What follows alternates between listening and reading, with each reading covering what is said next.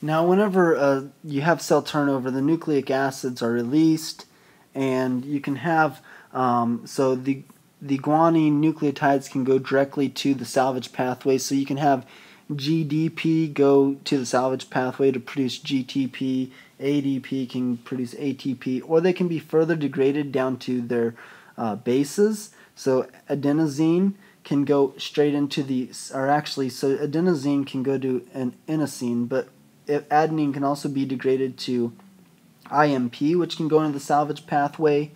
And so you'll notice whether it releases the, the inorganic phosphate or the ammonium, the ammonium first uh, will depend where it can go into the salvage pathway. So the point being that at any point during its degradation, it can go back into the salvage pathway. With the exception of guanosine, it has to be uh, uh, degraded all the way down to guanine to go back into the salvage pathway. And ultimately, they're broken down to xanthine.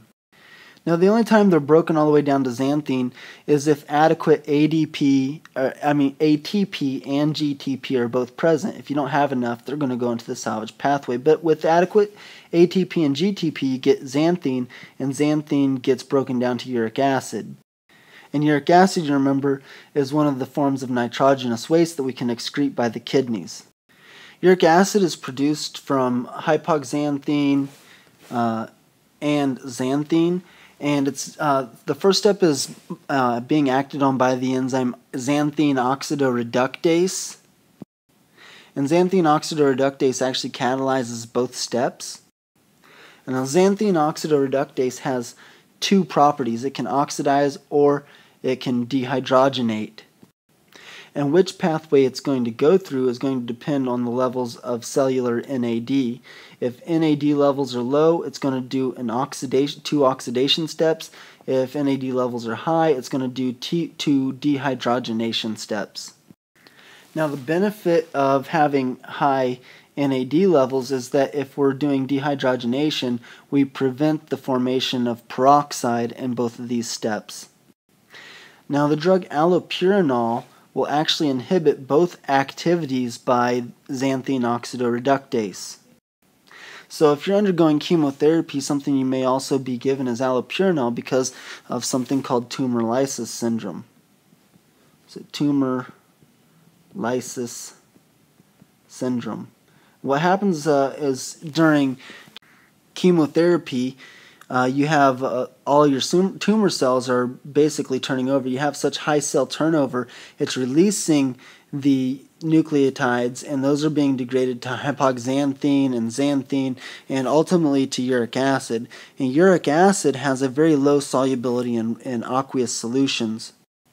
So uh, you get a too high of a concentration of uric acid, and it will precipitate, forming uric acid crystals. Now, depending on where it precipitates, will dictate what problems you have. Typically, it will precipitate either in the kidneys, uh, causing kidney problems, or it will precipitate in the joints, causing gouty arthritis. And so, by taking allopurinol, you'll actually prevent this from happening, and so you won't be able to produce the uric acid, and you won't get the uh, the precipitation. Now, pyrimidines slightly different. What happens with them is that they are uh, broken down to liberate the ribose phosphate. So you see here we get the ribose phosphates being liberated. And then the pyrimidine bases are uh, broken free as well. So notice that uh, CMP and DCMP are first converted into either uridine, which is converted to uracil, or um, deoxyuridine, which is converted to uracil. So whenever you're producing pyrimidines, uracil gets uh, formed into so from in DNA specifically, uracil is uh, transformed into uh, TTP, but in the in breaking down, the cytidine is converted to uracil. So uh, building up, you go to uracil to thymine. Breaking down, you go to cytidine to uracil. So the first part of the degradation of pyrimidines is uh, basically breaking open the nucleotide to form uracil and thymine and releasing the the sugar phosphate. Uracil gets further broken down into beta alanine. Now, beta alanine is an amino acid that we don't use in protein synthesis. It's not alanine, it's beta alanine, and this just gets excreted in the urine. Thymine is further broken down into beta amino isobutyrate. Now, beta amino isobutyrate is only made through this pathway, and so in chemotherapy, the amounts of this excreted in the urine is uh, used as kind of a, a tool to measure cell turnover in, cam- in cancer therapy. So, for the most part, this gets excreted, but it can also be used uh, for, uh, it can be actually turned into malonyl CoA and used in fatty acid synthesis, or it can be converted into succinyl CoA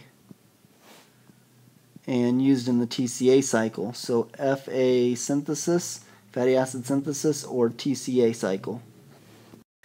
And that wraps up all of biochemistry for Block 1. Now, Dr. Martin had some SLMs that he posted that he didn't lecture on. I may uh, work through those as well. I'm not sure yet. But as far as that goes, this is the end of the actual lectures for medical school block one.